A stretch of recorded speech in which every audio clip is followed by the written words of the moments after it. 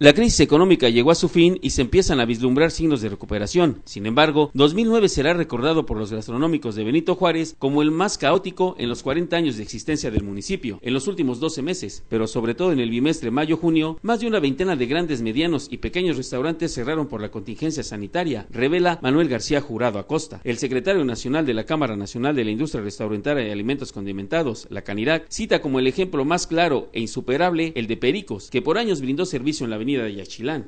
Ahí está el mejor ejemplo. Un restaurante de toda la vida de Cancún, muy exitoso, eh, cerró, cerró en mayo, que en mayo fue la situación más crítica. ¿no? Y da a conocer otros de los que tiene conocimiento que se vieron obligados a bajar la cortina. Cerró un restaurante de la Bonampak que se llamaba Grillos. Luego abrieron en ese lugar un restaurante mexicano. También cerró el restaurante mexicano. Eh, había un restaurante oaxaqueño en zona hotelera. El ex líder de los restauranteros de Quintana Roo también recuerda el caso de un negocio de comida española que corrió la misma suerte y de varios más que ofertaban diversos platillos en las diferentes plazas comerciales del municipio. Manuel García Jurado cita que el tamaño de negocio no garantizó la permanencia e igualmente se vieron afectadas taquerías que cafeterías y calcula que el número de empleos perdidos rebasa los mil y descarta más cierres para este año. Cancún ha demostrado que tiene un nombre muy fuerte, muy fuerte.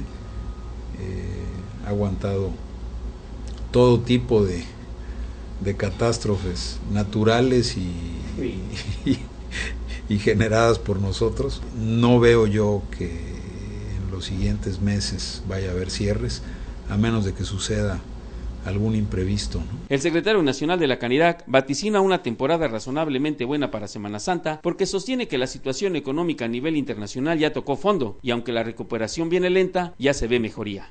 Y ahora pues el enemigo es este ver cómo libramos todos los impuestos y los aumentos de precios. ¿no? Yo creo que este año es el, el punto con el que debemos de luchar.